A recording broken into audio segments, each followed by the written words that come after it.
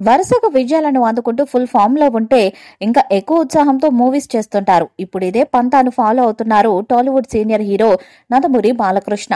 Hat trick సినిమాలతో సత్తా చాటిన ఆయన యమజోస్తో కనిపిస్తున్నారు. ప్రస్తుతం నందమూరి బాలకృష్ణ తన నూట తొమ్మిదవ సినిమాను బాబీ అలియాస్ కేస్ రవీంద్ర దర్శకత్వంలో చేస్తున్న విషయం తెలిసిందే.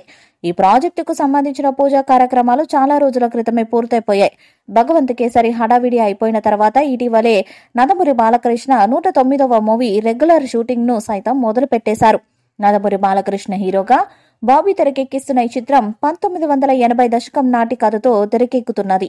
దీన్ని ఈ సినిమా కాన్సెప్ట్ పోస్టర్లో రివీల్ చేశారు. దీంతో ఈ చిత్రంపై అంచనాలు మరింతగా పెరుగుతూనే ఉన్నాయి. దీనికి ఏమాత్రం తీసిపోని విధంగా ఈ సినిమాను ఎక్కడా కాంప్రమైజ్ కాకుండా రూపొందిస్తున్నారు మేకర్స్.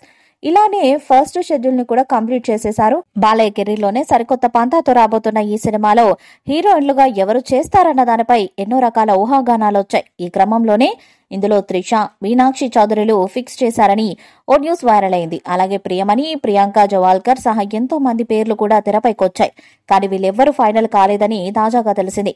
క్రేజీ కాంబినేషన్లో రాబోతున్న ఈ సినిమాలో బాలయ్యకు జోడీగా శ్రద్ధ శ్రీనాథ్ జెర్సీ ఫేమ్ నటిస్తున్నారట. త్వరలోనే రాజస్థాన్లో ప్రారంభం కాబోతున్న రెండో షెడ్యూల్లో ఈమె కూడా భాగం కాబోతున్నారని తెలిసింది. ఈమె పాత్ర ఎంతో ప్రభావాన్ని చూపించే విధంగా డిజైన్ చేసినట్టు తెలిసింది. ఇక శ్రద్ధ త్వరలోనే సైన్ ఆఫ్ మూవీతో రాబోతున్న విషయం మనకు తెలిసిందే. ఇదిలా ఉండగా బాలయ్య మార్క్ యాక్షన్తో డిఫరెంట్ కాన్సెప్ట్తో తెరకెక్కుతున్న ఈ సినిమాను Sithara entertainments fortune four cinema Srikara studios బ్యానర్లపై Sai Soujanya Nagavamsi సంయుక్తంగా నిర్మిస్తున్నారు. ఇందులో ఊర్వశి రౌతెల కీలక పాత్రలో నటిస్తున్నట్టు తెలిసింది.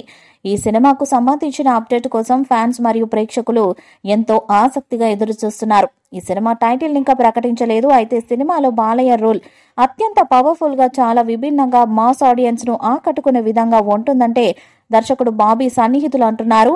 అన్ని అనుకున్నట్లుగా జరిగితే సంక్రాంతికి సినిమాకు సంబంధించిన ఒక పవర్ఫుల్ లుక్ను పోస్టర్గా విడుదల చేసే అవకాశాలున్నాయి. అంతేకాకుండా సినిమాకు సంబంధించిన ఒక మేకింగ్ వీడియోను కూడా విడుదల చేస్తామని మేకర్స్ చెప్తున్నారు. ప్రస్తుతానికి సినిమా యొక్క షూటింగ్ శరవేగంగా జరుగుతుంది.